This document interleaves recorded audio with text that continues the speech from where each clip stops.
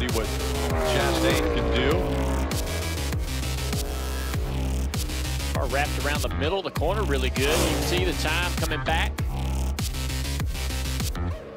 Gaining down the back stretch.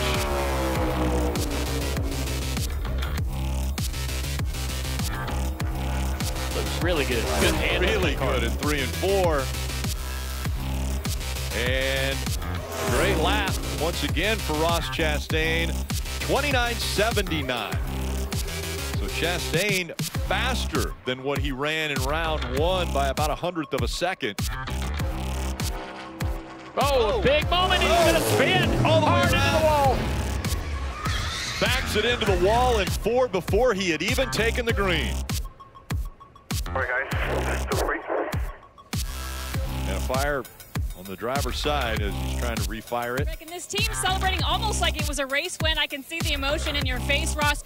First career pole in the Cup Series for you, the first for Trackhouse. What does this mean for the organization and for tomorrow's race?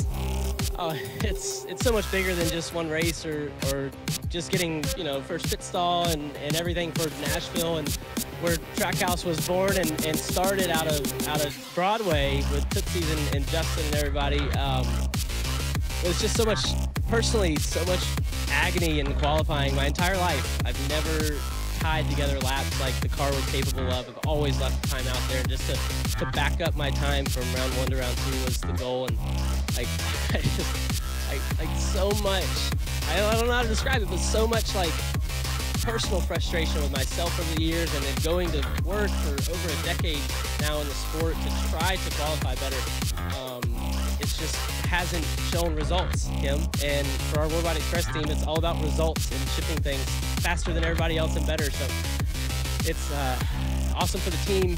Um, Pete Daniel tore his, his up. Uh, it's super super slick down there, but uh, personally, just a lot of a lot of uh, personal validation that the, the things we're doing are right. I think a confident Ross Chastain is very dangerous. And this team, I don't think has been as good as last year. I think they've been off a little bit on pace, but this run shows them they can do it. Last push coming from this 19 car. Has he got anything left? Three laps to go.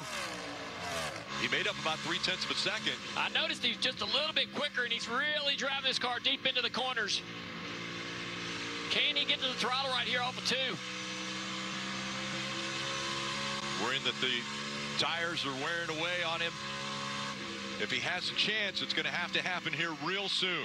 Coming up on two laps to go. He's found a little something right there in that middle of three and four. Just not enough.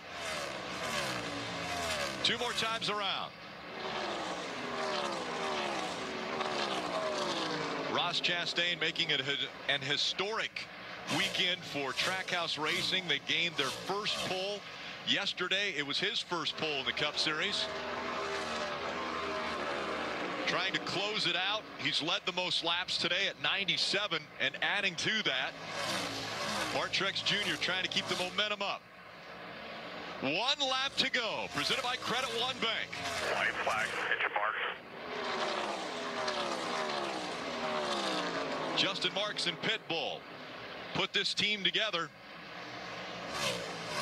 A year ago, both teams were able to win, both cars, with Daniel Suarez and Ross Chastain. And as you mentioned, made a run for the championship, was in that final four pairing. Now he's going to have another shot at it. A win here at Nashville for Ross Chastain puts him in the playoffs.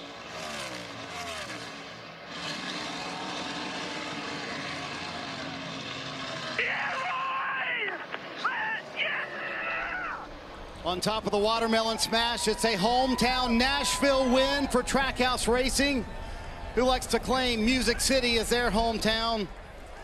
Boy, Ross Chastain, what an impressive performance by you and your group. You have a little water, go ahead. After a rough month and a half for you and the one team, how's a win for a little medicine? Only thing sweeter, Marty, is this Georgia watermelon. I got to tell you, this is incredible. Um, this is why every little kid out there, anywhere in the world, when you get criticized, and you're going to if you're competitive, they will try to tear you down. you will start believing them. You can't do it. You have to go to your people, trust in the process, read your books, trust the, the big man's plan upstairs, and just keep getting up and going to work. I got to tell you, a lot of uh, a lot of self-reflection through all of this, but I had a group that believed in me, and they didn't let me get down. And they bring rocket ships, and I just try to point them to victory lane. So you mentioned the criticism. How did you put it behind you, Ross? Trust in my people, uh, my family back home, the agriculture industry, they're always there for me. And then everybody at Trackhouse that Justin Marks puts in place with Phil Surgen and our group on the 1 in 99. Uh, to win in Nashville is actually absolutely incredible.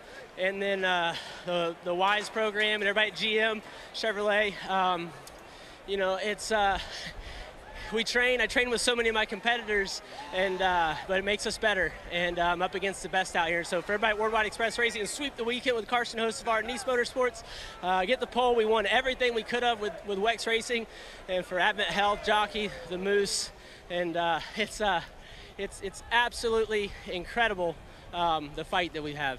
I love the emotion in the burnout, and you said in the middle of it, this is so much fun. Is that born out of relief, or where did that come from? That's just a desire to win. I got to tell you, Marty, it's um, it's just so hard at this level, and and it's it's the best of the best, and it's where I've wanted to be since I was 18 years old, and from from studying for over 10 10 years to just to qualify better, let alone go race for a Cup race win. Um, you know, along the way, the journey, I'm so so happy that the MMI group's here, and uh, and everybody that that supports me. Um, yeah, look, it's a cup win. I don't care what happened the last month, the last my rest of my life. It's a freaking cup win! There you go, Ross Chastain started the weekend with his first career pole. He ends it with his first win of 2023, and now he's in the playoffs, Rick.